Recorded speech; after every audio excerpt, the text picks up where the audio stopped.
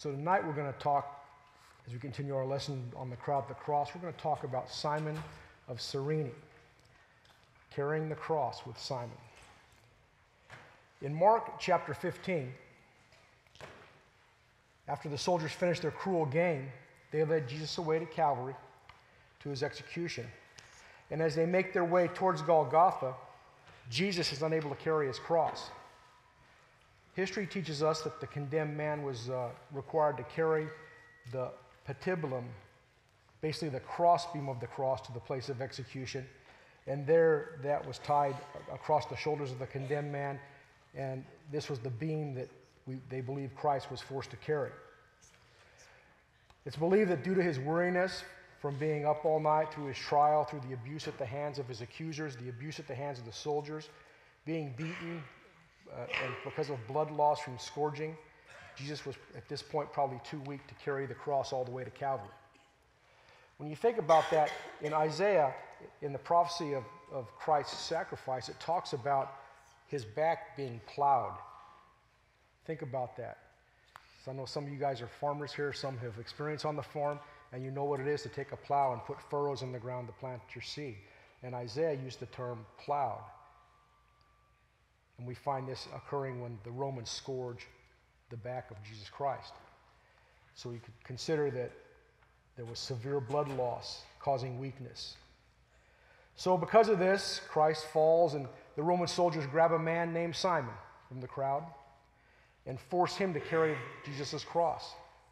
In Mark chapter 15, 21, they say they pressed into service a passerby, Simon, a Cyrenian, who was coming in from the country, the father of Alexander and Rufus, to carry his cross. Is this thing too loud? I'm getting, I'm hearing some feedback. Uh, so Simon was pressed into service at this time. Let's talk a little bit about, about Cyrene and the Cyrenians. It's pronounced Cyrene, is located on the continent of Africa, which, which is now known as Libya. It's, about 900 miles from Cyrene to Jerusalem. And that journey would have taken Simon and his, uh, his uh, uh, fellow travelers several weeks to walk that distance or ride a camel, whatever, in the first century. he was likely a Jew coming to Jerusalem for Passover and that he comes from Cyrene is not surprising. In the book of 1 Maccabees, chapter 15, we know that for at least 300 years before the crucifixion of Christ, there was a uh, large population of uh, proselyte Jews in this area. And today you could even go visit the city and visit the synagogue that these, that these Jews worshiped in. The ruins of the synagogue still exist today. in Acts chapter 6 and verse 9, although not uh, in a positive light. The Cyrenians are noted as being from the, from the synagogue of the free men. Uh, but the Cyrenians that are noted in Acts chapter 6 and verse 9 are involved in murdering Stephen. So these folks were kind of all over the place. Earlier in Acts, in Acts chapter 2, as you go through the list of people who were, uh, see, I'm not even holding her and she's crying this time, so. Uh, uh, they go through the list of all the people who were gathered together to hear Peter when he stands up and pre- preaches the first gospel sermon. The Cyrenian Jews were there also. Uh, later in Acts, in uh, chapter Acts chapter 11 and verse 20, we hear about Cyrenians preaching to the Greek Gentiles. So they're, they're, you can see how this progressed. Uh, they went from being proselyte Jews to persecuting the church, kind of like some other characters in the Bible that we know, to being amongst the first to preach to the Greek Gentiles the gospel of Jesus Christ. in Acts chapter 13, another Cyrenian, Lucius, is mentioned as being in the, in the church in Antioch. And this is going to be important because we're also going to note that along with Lucius, there's also another Cyrenian known as Simeon, also known as Niger, translated Simeon or Simon the Black. Okay? Uh, since this uh, this area was on the north tip of Africa. It's uh, uh, considered, although most of your art, if you go and look up uh, on the internet, uh, uh, Simon of Uh, you'll see mostly white caricatures in the artwork, but every once in a while you'll see a black face. It's assumed that because of the region that these proselyte Jews were, were black in color. So Cyrene was an active center for, for the Jews before the, the, the, the crucifixion of Christ. And in the decades of the early first century, it was an active center of Christianity. Okay? So something happened to these folks that caused them to convert from the old law to the new. As we take a look at the individual Simon of Cyrene, Cyrene uh, we note one thing that he is first classified as a passerby. He was passing by. He had journeyed to Jerusalem, we believe, for the Passover. He was just at the foot of the of, uh, of entering, just almost ready to enter the city, and there was a, some folks coming out. Jesus, the procession to execute Jesus and the two thieves, and he got caught up in this, and the Roman soldiers snatched him up and, and pressed him into service, or compelled him into service, as the Scripture says. But in the New Testament, we, we, we read of Simon of Cyrene three times. In Matthew chapter 27 and verse 32, it says, And as they came out, they found a man of Cyrene, Simon by name. Him they compelled to bear his cross. In Mark chapter 15 and verse 21, and they compel one Simon, a Cyrenian, who passed by, coming out of the country, the father of Alexander and Rufus, Rufus, to bear his cross. And in Luke chapter 23 and verse 26, and as they led him away, they laid hold upon one Simon, a Cyrenian, coming out of the country, and on them uh, they laid his cross that he might bear it after Jesus. So we're told that this passerby was coming in from the country when the Romans took hold of him and pressed him into service to carry the cross of Jesus. We know that from John's gospel that Jesus initially bore his own cross in John 19 17, but it's commonly held that the soldiers, because they feared that Jesus would, would collapse and not be able to, to complete the walk to, the, to, to Golgotha uh, without assistance, due to the beating that, they had, they, that he had un, undergone at their hands, they looked into the crowd for help. Uh, one scholar that I, that, that I read referenced the fact that Simon of Cyrene was probably a black man. The Romans looked upon him, oh, slave, come here and, and do this. So they pressed him into service.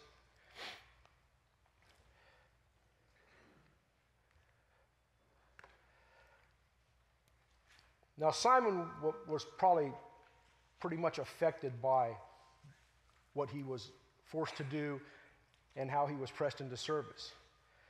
I know that I just got done driving 10 hours to Pennsylvania to load up uh, some furniture and drive a U-Haul truck 12 and a half hours back. And you know how it gets when you like you, you, you turn on, you, you, get up in, off, of, off of 64 and you turn on to I-75 and you're heading in the right direction and you're only 20, you know, 20 minutes from home. Consider Simon, okay, travels 900 miles with his entourage, with his friends and family, right at the gates of Jerusalem, okay, reaching, reaching the, uh, the, the, uh, the, the focal point of, of his journey. He's right there looking at it, see the, see the, see it, you know, see it in your headlights, and then some soldiers come by and snatch him up and make him turn around and go the other direction. Now, I'm sure that you've had this, similar things happen in your life to you where you had plans and were right on the verge of making them come true, and then life changes and spins you around. You go the other direction, it happens to all of us.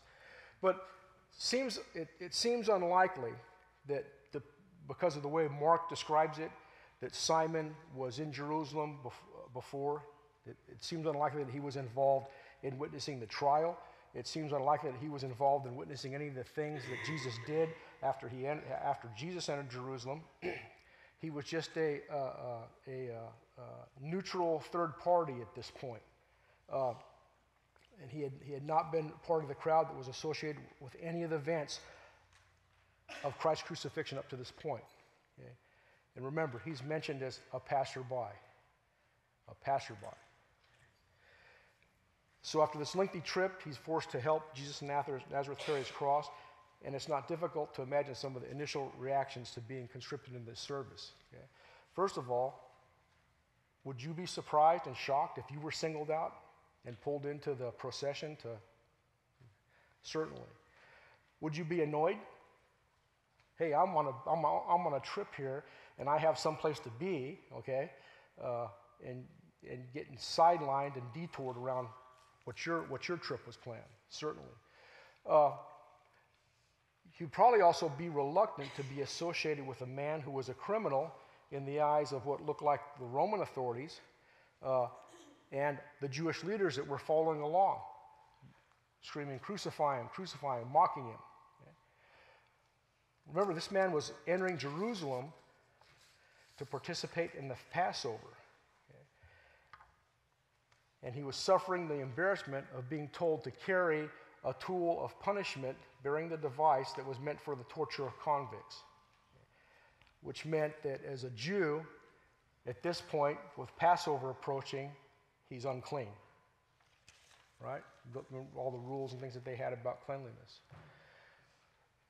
Although we hear nothing about Simon in Scripture after this event, it's worth considering what Simon might have made, might have, uh, made of Jesus because of his direct involvement with him, following close behind him, carrying his cross, as well as with regard to things that he might have heard about Jesus after, after the fact, after he was involved in this event.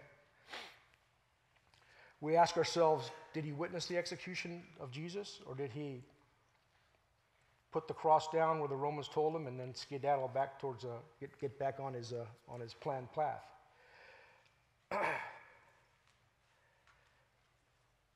did he uh, tell his companions what happened? Was he still in town on the third day? Did he hear the resurrection while he was in Jerusalem? Might he have been one of those Cyrenians who stood in the audience with Peter on Pentecost in Acts chapter 2? The scripture doesn't tell us this. I don't want to read into it too much, but I would also think the possibility, of course, it doesn't tell us, that he was scared to death. Oh, yeah. Roman soldiers, and the power that they had, and the scene that was probably being right in front of him, I'm thinking if it were me, I think they, they beat this man beyond rec- recognition. Maybe that's not enough. So now they've singled out me, I might be that guy on that cross. Thanks, but that, that fits right with what, we're, with what we're talking about, because that's what I want to do is paint a picture of what Simon stepped into, and then see how that affected him, and in turn how it can affect us today. Assuming that he didn't stay long enough in Jerusalem to hear Peter speak on, in, in, in uh, the day of Pentecost, what would Simon have made of the reports that he would have undoubtedly heard from his friends and acquaintances, the, the Cyrenians who were there? Because he certainly would have heard. Then what would have been his reaction to all the incredible happenings in light of, wow, I was there and I was carrying the cross and these things happened and I wasn't paying attention? Would he have been eager to tell his story, or he would, have, would he have kept it quiet?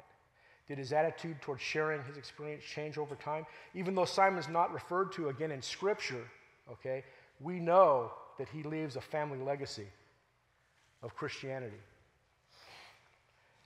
In the second, uh, in the, the, the, passage in Mark, it's brought out. Mark brings out the fact that Simon was the father of Alexander and Rufus. They're mentioned by Mark. And why would Mark do this?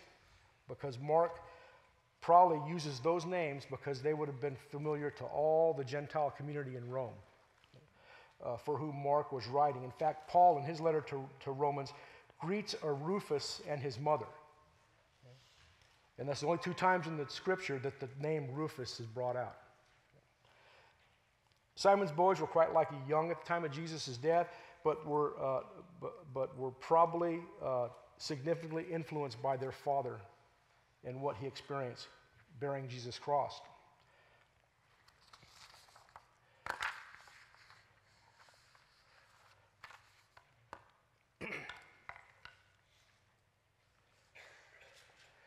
if Simon was there, he would have heard the prayer that Jesus said when they came to Calvary. Simon would have knelt down and taken the cross off his back passed it over to the Roman soldiers, and would have seen Jesus laid on the cross and nailed to the cross.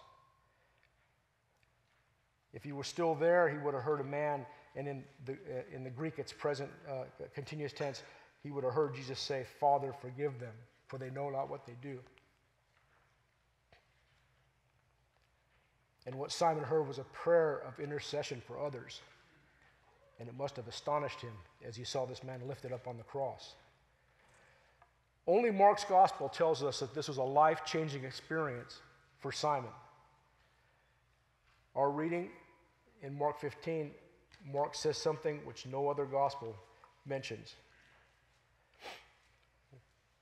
In verse 20.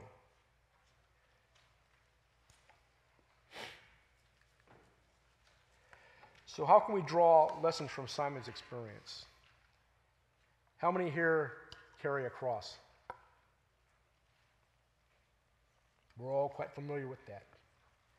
And we tend to uh, share the notion of carrying a cross or bearing your cross, as Jesus uh, told us he would help us, with ailments or challenges, difficulties in life, or any number of unwelcome things that interrupt our lives, or crosses that we bear. Unwelcome, or as they are, generally they can't be eliminated. Maybe we can mitigate them. But in most cases, they have to be endured, right? You have to work your way through it to the other side. Jesus tells us in all three synoptic gospels Matthew, Mark, and Luke that carrying the cross is the calling of all authentic followers. Carrying the cross is the, cro- is the cost of true discipleship. Now, how we as individuals deal with our crosses makes all the difference for us and the people that we live with and the people that we influence. The best person to learn how to handle the cross from, of course, is Jesus Christ, who went to the cross of Calvary on our behalf. But as fallen human beings, it's particularly noteworthy to look at a man like Simon, who actually, literally carried the cross, carried the cross of Jesus and discuss how it might have affected him and what he did with his life after this event. So, Simon's possible reactions to this event can be just like ours when an unexpected cross comes our way. What we say? Surprised, generally. Annoyed, depending on the severity of the cross that's been laid in your lap. Reluctance, you know, and I'm not ready for this. I can't handle this. Embarrassment. What if somebody sees the cross and causes embarrassment?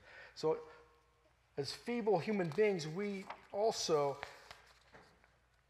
would experience the same things that Simon might have experienced when he was put before the crowd and made to bear the cross of Jesus. When we bear our own crosses, we go to, can go through the same emotional thunderstorm.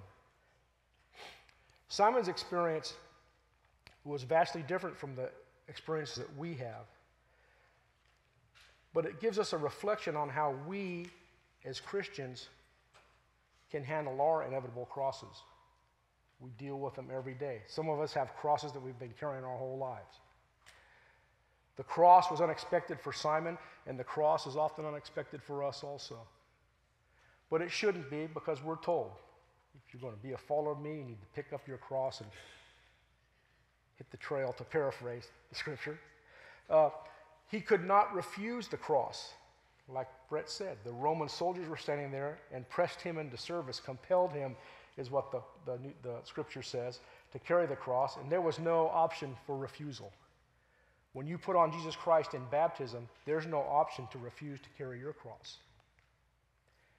Well, we'll never know for sure the answer to the questions that Simon faced in the aftermath of his encounter with Jesus, we can use similar questions to examine ourselves. When we look at our own lives, do we see through our crosses, knowing that there is no cross, where there's no cross, there's no resurrection? No cross, no resurrection. You ever thought about that? I never have until I, I plagiarized it from some Bible scholar that I got reference material from. It's a simple statement. Without Christ going to the cross, there would be no resurrection. There would be no forgiveness of sin. There would have been no victory over death. For us as individuals, despite how heavy our crosses become, do we continue to look past the pain and the suffering and the tribulation and remain focused on the reward? You know, I, I, I look back at the, some of the sermons I've preached at Dreyfus over the last few years, and I probably have done 20 or 30 sermons on walking the straight and narrow path, keeping focused on the reward, walking in the light, following the light, looking to, looking, looking to Jesus. And sometimes, even though I've done that and understand that I need to do that, sometimes I find myself caught up in the world and in the flesh and not focused on that. Do we get from those who we interact with, especially family and friends, church family, support to help us through our struggles? Or are our family and friends impediments to spiritual growth? You know, uh, uh, when I was on Guam, we had a, a work that we were doing was called a student center at the University of Guam, where all the the students from all the Micronesian islands. You, you, name an island, we had students would come there, and we would teach them the gospel of Jesus Christ, and they would go back home. And actually, we did uh, eventually establish a church in Ponape, a congregation there. But some of these folks, their families were Catholic, strict Catholic, and to turn your back on the Catholic Church was a, was a I'm dead to you type offense. And we, Jackie and I did have some friends whose families just turned their backs on him and said, You're not my son anymore. And that's a, that's a tough one. But remember what Jesus said? If you're not willing to do that, then there's some work that needs to be done.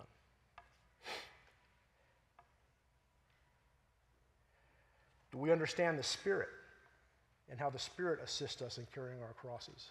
We all understand the Spirit dwells in us. There's things that, that, that you can understand about yourself by knowing that the Spirit is, in, is, is within you. Do we let the Spirit guide us? That little, you know, some people call it the little voice in the back of your head that says, maybe you don't want to do that. And then you go ahead and do it, and then you're severely convicted because you made a bad decision or exercised poor judgment. That's your spirit.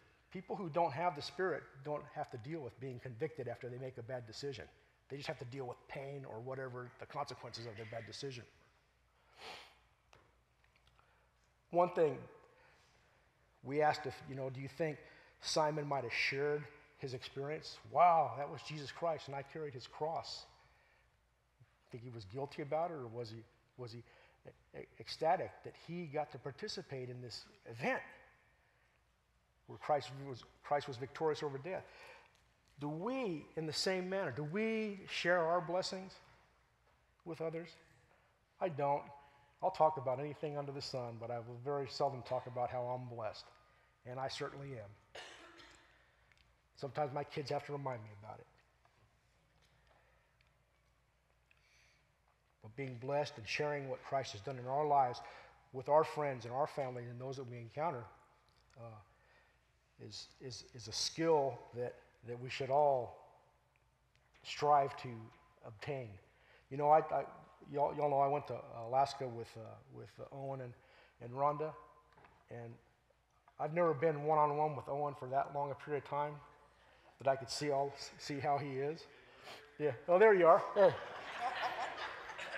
But that man there, nobody you most you know, who's known him many many years, has a gift of just going up to somebody that he don't know on the street and sparking up a conversation. And it doesn't matter who's waiting on him, whether the bus is waiting on him or we're waiting to get him to dinner. But but he has he has a, he has a gift that I want to obtain someday. Because he certainly understands his blessings and he's not hesitant to share them with others.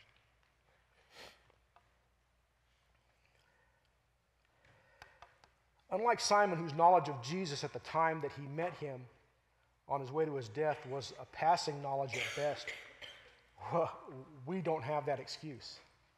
We don't have that excuse of not knowing Jesus because we do know him. And we probably know him better than any of these people who stood at the foot of the cross.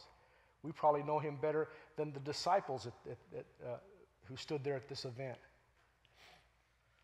So, whatever our initial reactions are to a cross that might set itself on us, that we have to bear, whatever setback or tragic event, we can be sure that we have Jesus Christ to fall back on And he gave us his word that he would be there for us.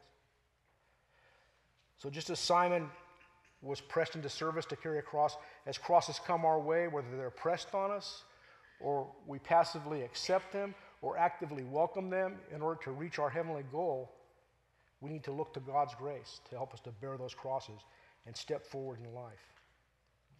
Any questions or comments about that? Anybody have any amusing stories, Owen? No, no. I'd make the last part up. Okay.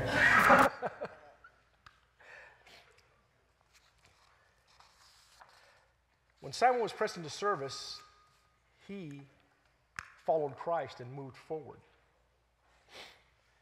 In Mark chapter 15, we'll read, when, when they mocked him, they took off the purple from him and put on his own clothes and led him out to crucify him.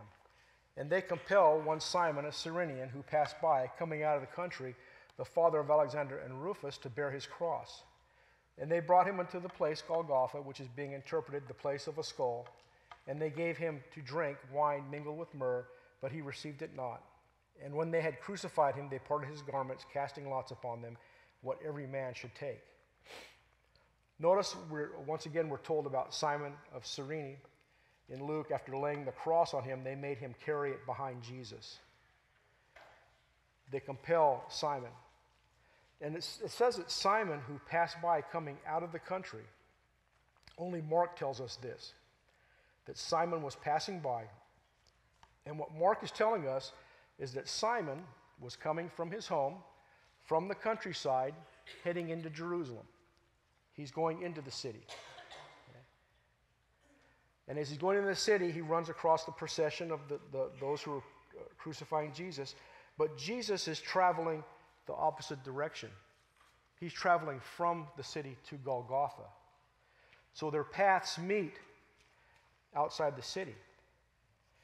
And without a doubt, according to Scripture, Jesus and Simon were both traveling in opposite directions that, that day.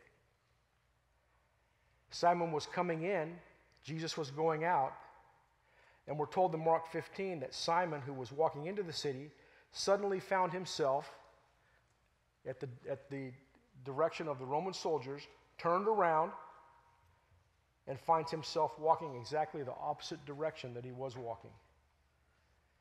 After meeting Jesus on the road to Jerusalem, his path was completely turned around. As a prepare for the study, you know, have you ever gone to the New Testament and looked, uh, looked, uh, looked up, turned around, or turned upside down? There's quite a few passages of Scripture that deal with that about the apostles being those who were turning the world upside down, or people turning aside and going another direction. But here we see it portrayed in the meeting of Jesus and Simon that Simon, Jesus is on the path that God put him on, and he's traveling that path. He's not going to be turned around. He's not going to be stopped from doing what God sent him here to do. But Simon, on the other hand, who just was, is finishing up a 900 mile journey, he gets turned around. Certainly, God's hand was in this. And his experience of meeting the Lord is going to change his life walk. His life walk appears to follow the, it literally follows the footsteps of Christ, at least to Golgotha, and it appears through Mark's discussion of Rufus and some other things concerning his son Alexander that his life turned around from being a proselyte Jew to, to Christianity.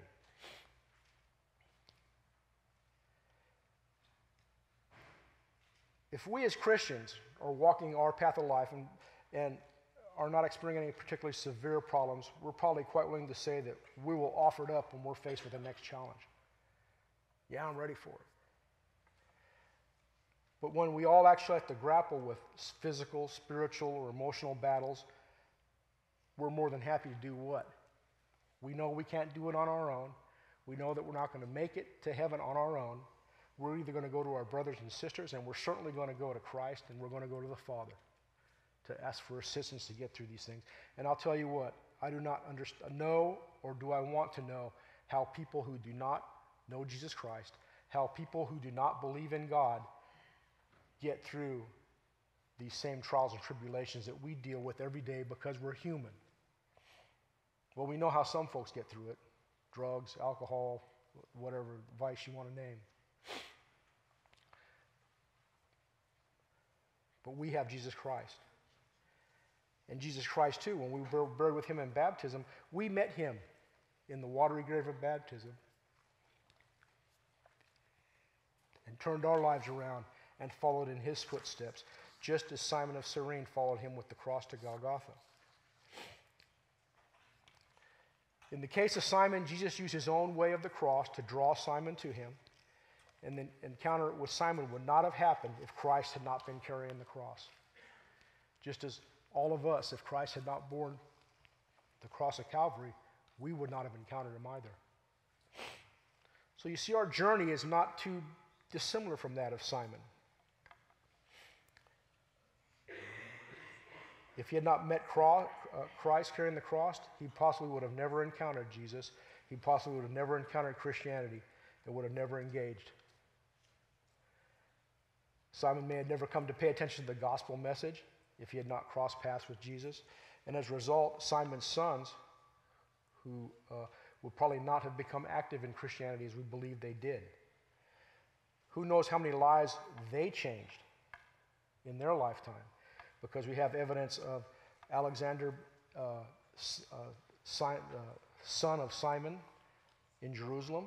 We have uh, uh, possible uh, scriptural evidence of Simon himself being in Antioch, Rufus being in Antioch, Simon's wife being in Antioch, and then later on, in, later on in Acts chapter 16, being in Rome.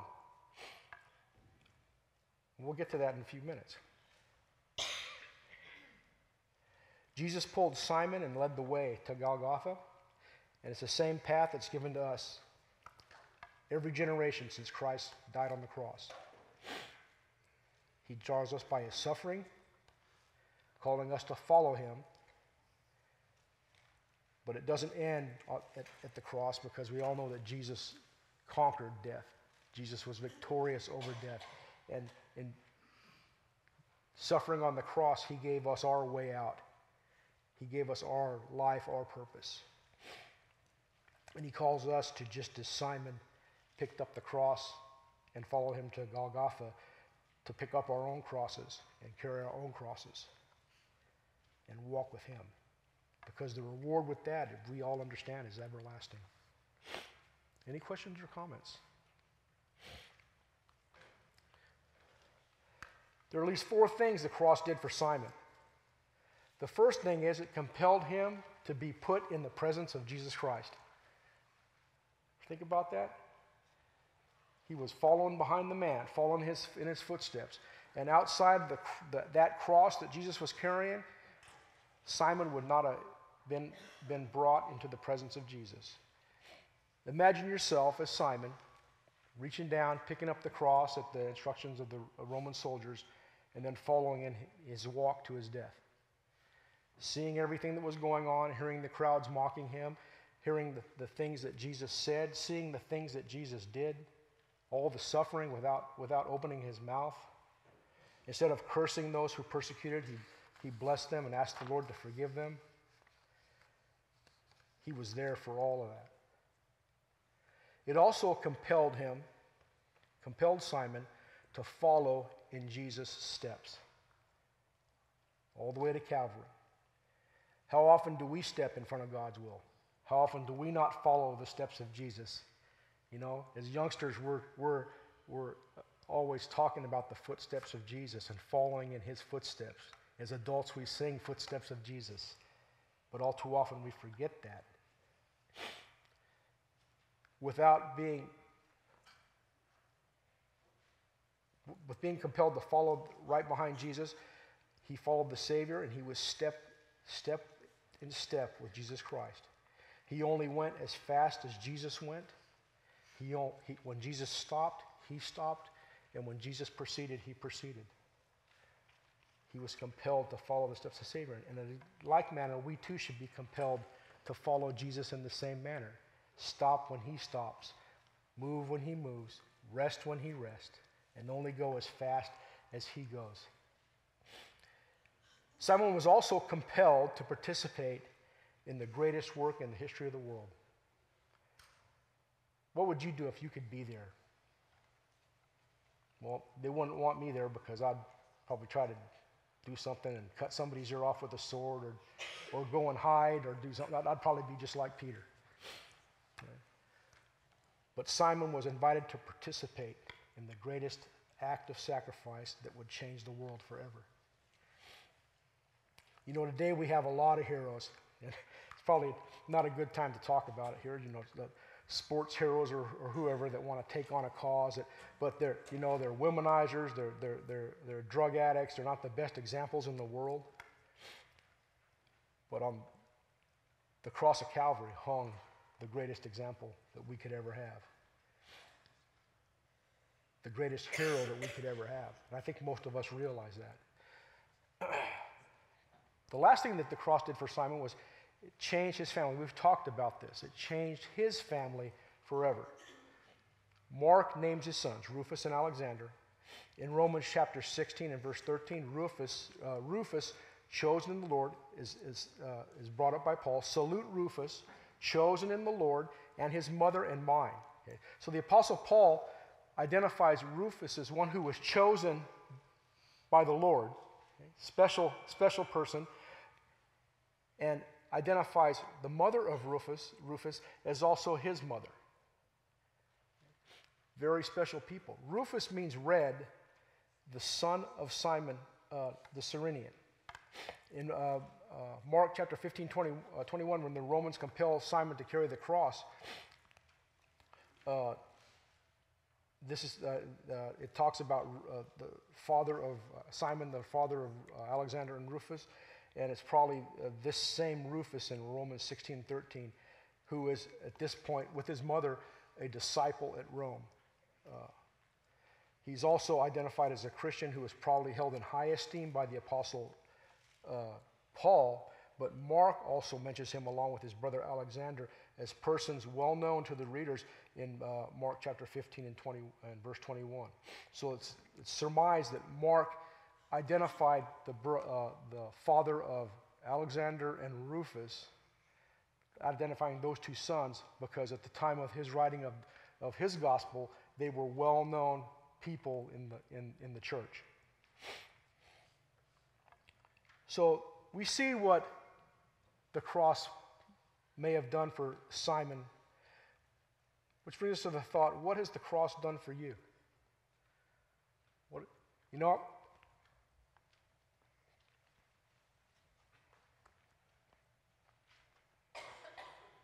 This is a hard bunch of lessons to get through. I told you I'd have a hard time with this.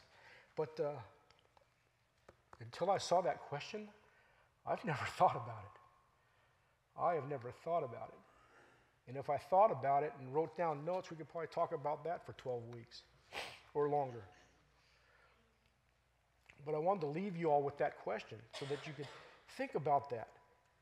We see how Simon picked up the cross and followed in the steps of Jesus. We saw how the cross may have changed his life forever. What has the cross done for you? I'm not going to ask you to answer that question tonight. Ask yourselves and think about it. What's the word? Ponder. Ponder that over the next week.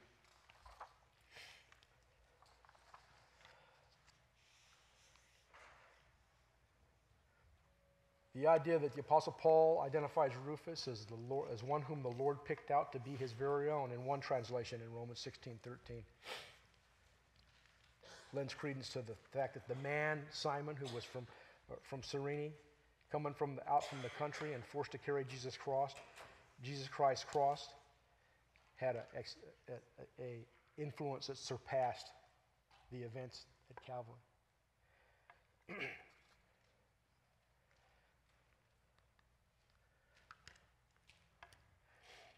By his country, we know that Simon was from North Africa. There were many Jews living in North Africa during that time. I told you that the, the Jewish synagogue in uh, uh, Cyrene was, uh, was in existence about for 300 years before the event on Calvary. Simon could have been a Jewish national or a converted Jew, and he was on his way to the Passover. And the chances are that he had no idea who Jesus was, what Jesus had been doing, because he had been traveling from the countryside heading into Jerusalem. All Simon knew was that one minute he's walking along minding his own business, and the next moment he was being forced by Roman soldiers to pick up a heavy piece of crossbeam and, and help some mangled criminal get to, get to his destination who, because he had dropped it. Simon was just a guy who was forced into a situation that was far beyond his control. He couldn't say no. But when you think about this and we think about all the events at Calvary, who was in control? God was in control. If Rufus was in fact his son, as surmised, then God used Simon's forced situation to bring about the best situation for both father and son and the entire family. Jesus was not forced to die on the cross, he went there of his own accord. Calvary did not take place by surprise. Jesus came to earth to go there and sacrifice himself for us. God's always in control. During this whole event, Jesus never lost control. And Simon may have been forced to carry the cross, but our Savior gave his life freely. Anybody have any questions or comments before we close the lesson today? Well, I thank you for your attention, and uh, we'll be back again next week.